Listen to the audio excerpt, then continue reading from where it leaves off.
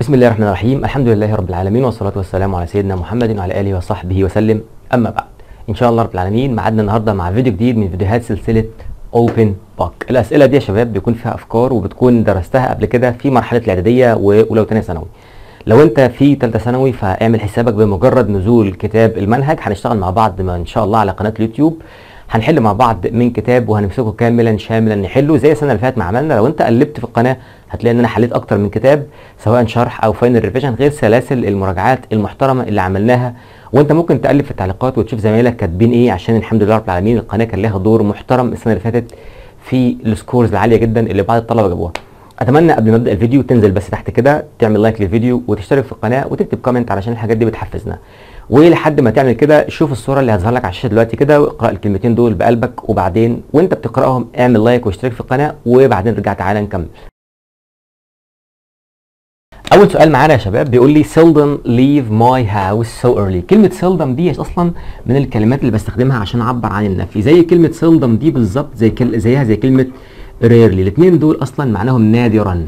أو قل ما أفعل الشيء. وأنت عارف إنك لما تبدأ الجملة بكلمة من الكلمات دي فالكلمات دي أصلا بتوحي بالنفي. فلما تقول مثلا I seldom I seldom واحد كده بيقول لك I seldom study يعني أنا نادرا ما أذاكر. يعني معناها بالعربي ما بذاكرش كتير. فالجملة دي بتديك إيحاء بالنفي معنى نفي. وإحنا متفقين إن أي كلمة من كلمات النفي نبدأ بيها الجملة فبنعمل حاجة زي ما أنت عارف اسمها inversion ال inversion ده اللي هو القلب إنك تقلب الجملة. فلما تلمح سيلدم وريرلي وهاردلي ونوسونر وسكول ونوسونر وسكيرسلي والناس دي في اول الجمله فحضرتك محتاج فعل مساعد الأول وبعد الفعل المساعد عايزين فاعل. فدي بادئه بالفاعل نستبعدها بدأ بفعل مساعد هنفكر فيها بدأ بفعل مساعد نفكر فيها مفيش هنا فعل مساعد أصلا نستبعدها. فتفكيري وأنا بحل كطالب إن أنا هختار am I أو do I بس أنا عارف كويس وفاهم إن لما يكون معاه verb to be فأنا محتاج بعد الفعل مضاف له ing أو ال past participle لو ing يبقى معلوم لو past participle ده لو مجهول. لو أنا معايا ال verb to have فأنا عايز بعده past participle لو أنا معايا verb to do فأنا عايز بعده الفعل في المصدر. وبناء عليه لو أنت معاك مصدر أكيد عايز verb to be معاك past participle عايز have أو verb to be كده. فبالتالي أنا معايا كلمة leave يعني يغادر. ده فعل في المصدر. اذا نستبعد am لأن المفروض am يكون بعدها ال ing وبكده نستخدم do. ومعنى الجملة أصلا يا شباب seldom do I leave my house. So early. ودي ممكن نستخدم مكانها I seldom leave my house so early. وانت ليه قلت لي leave مضارع يا مستر؟ لأنك استخدمت فعل مساعد do. يعني ده معناها لو انت قلت seldom did I leave ده كان ممكن نستخدم الناحية الثانية I seldom left. الجملة الثانية بيقول لك only by working hard. فقط من خلال أو بواسطة العمل الجاد able to be famous قادرا على أن يكون مشهورا. قبل ما أحل الجملة دي أنا عايزك تاخد بالك إن able to دي معناها قادر على. دي أصلا يا شباب كده لوحدها صفة.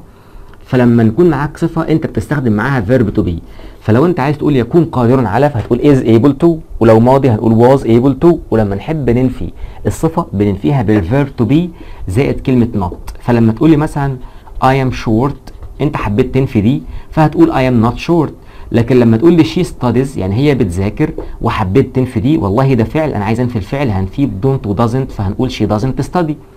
نفس القصة دي أنا عايزك تاخد بالك هنا منها. أنت معاك هنا able to فعايز قبله في verb to be. حلو هنا did ما ينفعش وهنا did ما ينفعش. باقي معاك he was was he. تمام كده. الخلاصة بقى في الموضوع إن only دي من الكلمات برضو اللي بستخدمها عشان أعمل inversion لما تظهر قدامك كلمة only في أول الجملة بتعمل inversion وبالتالي انت هتستخدم هنا فعل مساعد وفاعل. دي بادئة بالفعل المساعد يبقى دي الإجابة. طب ليه دي لأ؟ عشان دي بادئة بالفاعل وتبقى دي غلط. طيب الجملة اللي بعد كده. I went to school and some teachers. أنا ذهبت للمدرسة وإيه؟ بعض المعلمين.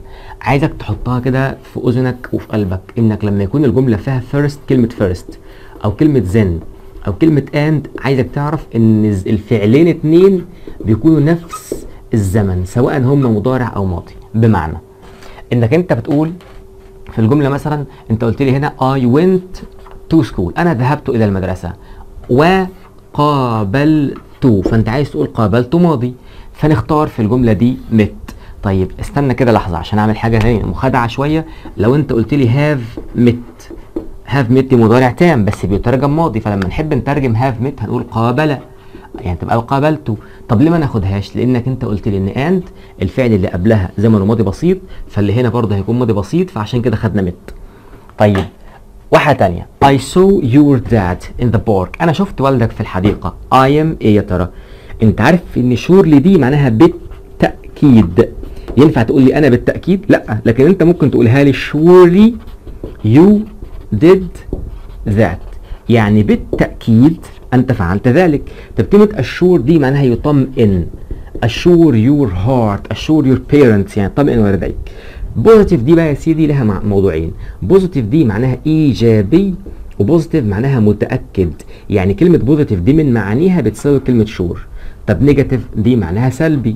طيب أنت في الجملة بتقول أنا شفت والدك في الحديقة أنا متأكد فعشان كده بتقول positive طيب يبقى أنا عايزك تفهم إن في الجملة دي كلمة surely معناها بالتأكيد. واحد بيقول لك will you go with me? هتروح معايا فتقول له بالتأكيد طبعا. يبقى surely لكن لو انت عايز تقول I am فهتقول لي I am sure. يعني أنا متأكد. وبدل ما تقول I am sure اتعلم بقى إنك تقول I am positive. طيب رقم خمسة. I always have fun I TV عايزك تعرف القصة اللي هحكيها لك دي. الملحوظة اللي هكتبها لك دي مهمة جدا. اعمل screenshot لو انت محتاج عشان هنفتح السبورة. طيب افهم اللي أنا هكتبها لك دي حتة مهمة جدا.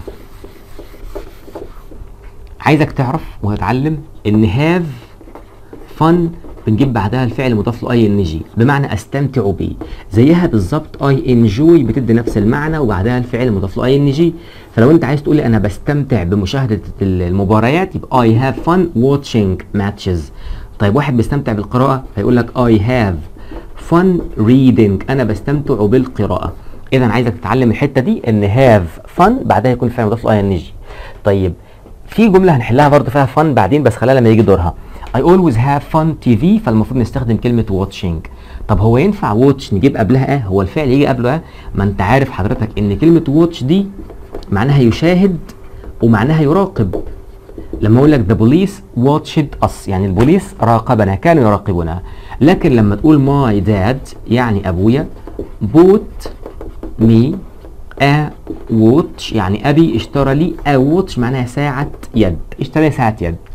طيب اللي بعد كده can you give me two days بص معايا. كلمة other دي معناها آخر وبنجيب بعدها اسم جمع كده معناها آخر. فلما أقول لك مثلا other students يعني الطلاب الآخرين. تمام؟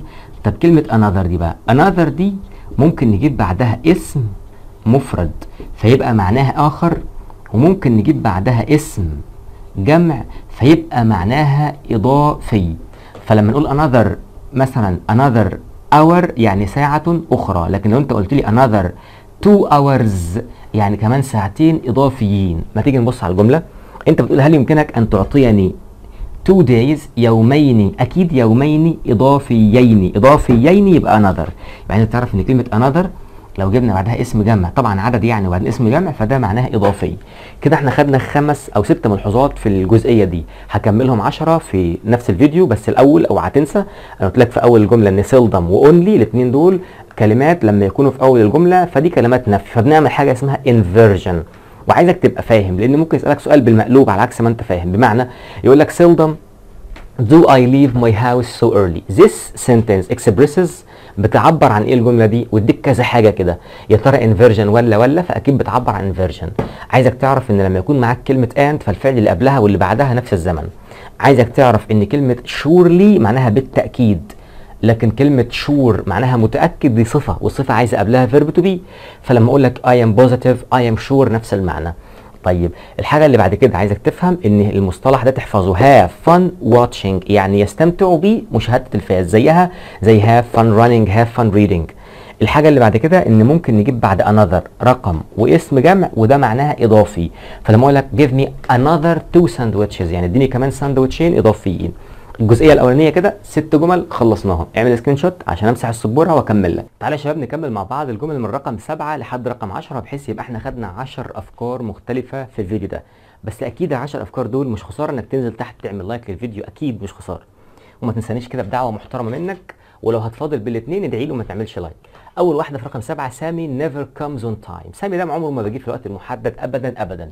he is always نقط اختار لي بقى late ولا later ولا latter مين في دول بالظبط؟ بص معايا انت عندك كلمة late دي حضرتك عبارة عن صفة وعبارة عن ظرف. الكلام ده قلناه أكتر من مرة والكلام ده مهم. صفة بمعنى متأخر.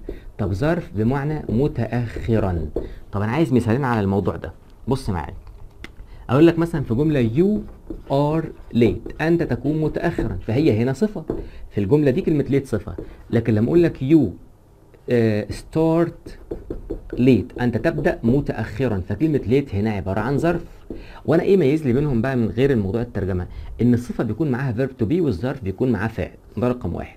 طيب حاجة كمان لما نقول ليت منى late منى دي معناها المرحومة منى يعني منى الله يرحمها يعني فكلمه late دي معناها المرحوم اللي مات زمان يعني. طيب الحاجة الثانية كلمة later بالترتيب كده later دي later معناها بعدين. يعني لما تقول لواحد أشوفك بعدين يعني فتقول له see you later أقابلك بعدين. وخلي بالك إن هي t واحدة. طيب الحاجة الثانية كلمة later معناها أكثر تاخرا عن. أقول لك you came انت جيت later than me. أنت جيت متأخر أكتر مني. حلو؟ حلو. الحاجة الثالثه كمان ودي يعني حاجة لسه تقريبا أنت لو أنت ما ذاكرتش القواعد السنة اللي فاتت كويس فأكيد محتاج تفهمها الأول. لما أقول لك مثلا we reached اكتبها الناحية دي أفضل.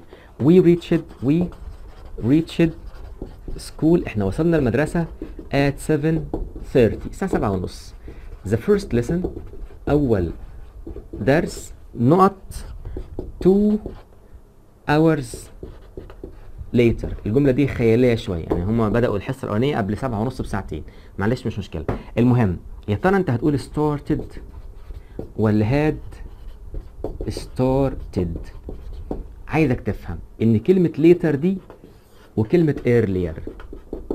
Earlier دي بتشير إن الحاجة دي حصلت الأول يعني بتشير لحدث ماضي تام. طب كلمة later بتشير إن الحاجة دي حصلت بعدين يعني حصلت رقم اتنين فبتشير لماضي بسيط. ففي الجملة بتاعتنا دي هناخدها بشكلين الشكل الأولاني لو أنت قلت لي reached وصلنا المدرسة الساعة سبعة ونص والحصة الأولانية بدأت 2 hours later بعدها بساعتين يعني تسعة ونص اذا المفروض إن حضرتك تستخدم ماضي بسيط. الماضي البسيط اللي هو started. طب افرض نفس الجملة دي يا مستر مكتوبة we reached مش عارف school at 7 the first lesson the first lesson not 2 uh, hours earlier. Earlier معناها إن الحصة بدأت بدري قبل ما إحنا نيجي بساعتين يعني الحصة بدأت الأول وبعدين إحنا جينا.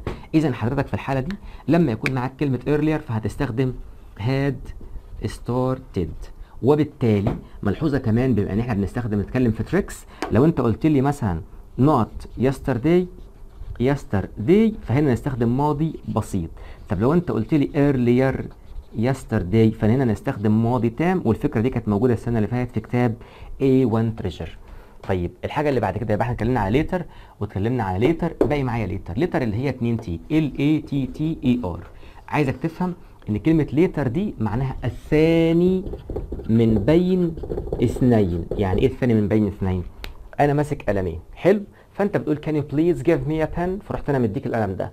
تقول لي no give me the latter the latter يعني الثاني وهم أصلا كانوا اثنين. حلو؟ أنت بتاكل سندوتشين واحد طعمية وواحد لحمة. فأقول لك can you give me a sandwich ممكن تديني ساندوتش. فأنت بتديني الطعمية. فأقول لك no give me the latter في الحالة دي latter دي اللي خدناها اللي معناها الثاني من بين اثنين.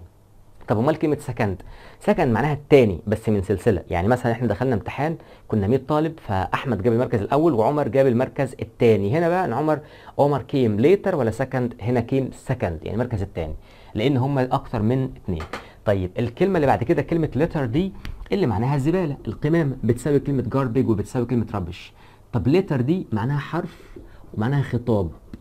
حلو. طيب انت بقى في جملتنا تعالى نترجم. سامي never comes on time سامي ده عمره ما بيجي في الوقت المحدد ابدا. ده هو دايما بيجي متاخرا. متاخرا اللي هي كلمة late فهناخد late طب الراجل أصلا جايب لك الجملة بيقول لك سامي never comes on time he is always late he is always late طب إحنا عايزين هو دائما يكون متأخر مش مش يأتي. هنا في الجملة دي كلمة late يا ترى ظرف ولا صفة؟ والله استنى. أنا معايا verb to be يبقى late دي كده عبارة عن adjective. طب افرض انت قلت لي هي comes late. ما هو لو انت قلت لي comes يعني فعل وما دامه فعل يبقى أكيد كلمة late دي عبارة عن ظرف. الجملة الثانية منى is a lot of نقط. لو انت فاكر في الفيديو في النص الأولاني من الفيديو قبل ما نفتح السبورة كان بيقول لك have fun وبعدها الفعل مضاف له ing يبقى ده أول idiom عايزك تحفظه مع كلمة fun have fun و ing ال idiom الثاني بقى إنك تقول لي a lot of fun. A lot of fun دي معناها شخص مرح. يعني لما أقول لك مثلا أحمد a lot of fun يعني أحمد ده شخص مرح بيضحكنا ويفرحنا وكده. فهنا بالتالي هنستخدم كلمة fun أمال إيه fan fan دي لها معنيين. معناها المعجبين ومعناها مروحة. تمام؟ turn on the fan شغل المروحة. fans attacked the stadium المعجبين هجموا على الاستاد. أمال إيه funny funny معناها مرح. طب أنا إمتى آخدها؟ بص كده ركز معايا. تقول لي منى a lot of fun أو منى is خد بالك is funny على طول من غير lot of. طيب ما ينفعش أقول لك مثلا إن أنت تقول لي مثلا منى is a lot of funny. أوعى تعمل دي. a lot of fun. ركز. منى is a lot of fun أو is funny على طول من غير كلام وإحنا خدنا هنا fun. طيب الجملة رقم تسعة. He as well as his parents.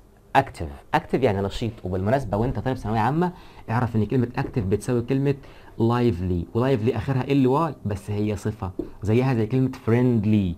طيب عايزك من كل جملة تطلع بكل الملاحظات الممكنة. بص يا سيدي انت عندك as well as دي as well as لها احتمالين. الاحتمال الأولاني إنك انت تبدأ الجملة بالفاعل تبدأ بفاعل أول وبعدين as well as وبعدين فاعل تاني وبعدين كده فعل الفعل هنا بقى على حسب الفاعل الأولاني. فعل على الفاعل الأول.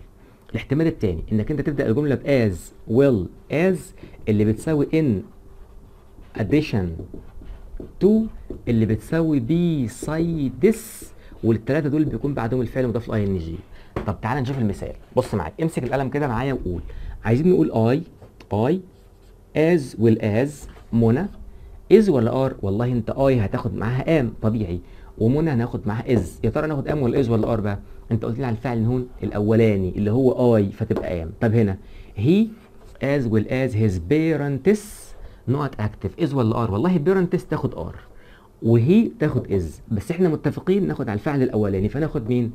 از وبشكل لطيف كده لو أنت عايز تفهمها أنت أصلا بالعربي بتقول إيه؟